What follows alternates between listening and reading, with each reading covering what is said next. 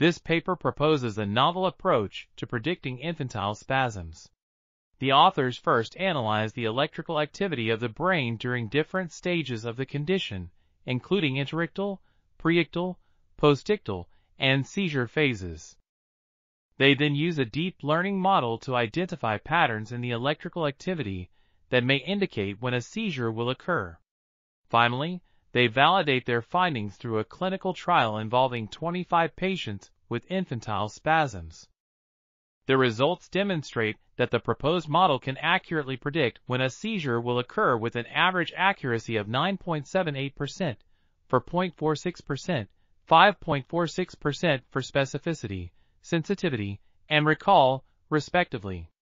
This research provides valuable insight into how infantile spasms develop and could lead to more effective treatments for the condition. This article was authored by Runze Zheng, Jiuwen Cao, Yuanmeng Feng, and others. We are RTCL.TV. Links in the description below.